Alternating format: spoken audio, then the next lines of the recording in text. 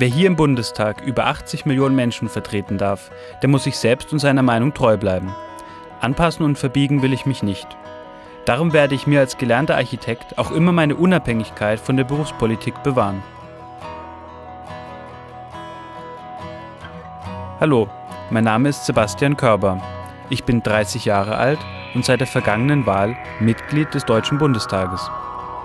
Ich habe begonnen, mich politisch zu engagieren, weil ich keinen Staat mehr wollte, der unsere Bürgerrechte einschränkt und uns Bürger kontrolliert.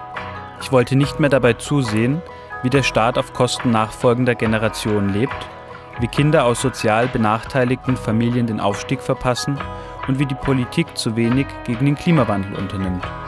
Für mich war klar, dass ich zur FDP und zu den jungen Liberalen gehe keine andere Partei kämpft so progressiv wie die FDP für die Freiheitsrechte der Menschen, gegen Staatswirtschaft und Staatsverschuldung auf Kosten kommender Generationen und für Chancengleichheit durch Bildung.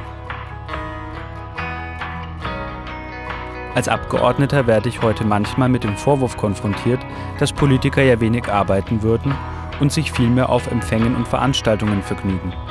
Nach einem Jahr im Bundestag muss ich darüber schmunzeln, im Durchschnitt 13 Stunden lang ist mein Tag in Berlin und nicht kürzer ist er, wenn ich zu Hause in meinem Wahlkreis bin.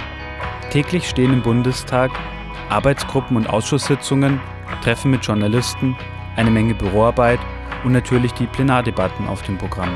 Da ist fast nie Zeit, um sich auf Empfängen herumzutreiben und so soll es ja auch sein.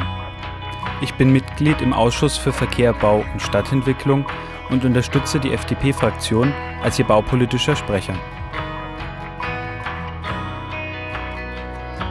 Ich selbst komme aus Forchheim in Oberfranken. Da bin ich aufgewachsen, zur Schule gegangen und da lebe ich.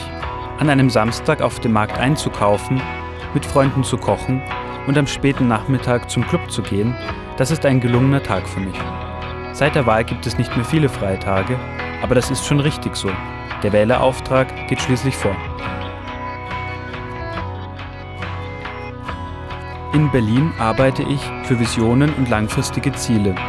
Hier im Wahlkreis geht es um Probleme vor Ort, zum Beispiel am Bahnhof Forchheim, wo Gehbehinderte und Ältere nicht zu den Bahngleisen können, weil es keinen Aufzug gibt. Hier bin ich mit der Bahn in Kontakt, um dieser Benachteiligung ein Ende zu setzen.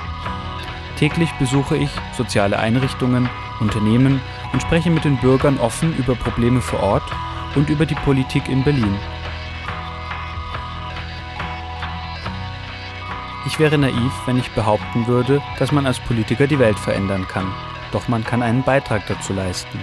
Ich will meinen Beitrag dazu leisten, dass unser Leben nicht weiter vom Staat kontrolliert wird, dass alle Kinder faire Bildungschancen erhalten, dass nachfolgende Generationen nicht die Leidtragenden von Staatsverschuldung und Umweltzerstörung werden und dass die Interessen meiner Region in Berlin vertreten werden. Ich will nicht den täglichen Applaus, aber ich will etwas verändern und das besser machen, was frühere Generationen von Politikern verschlafen oder falsch gemacht haben. Zeit wird's.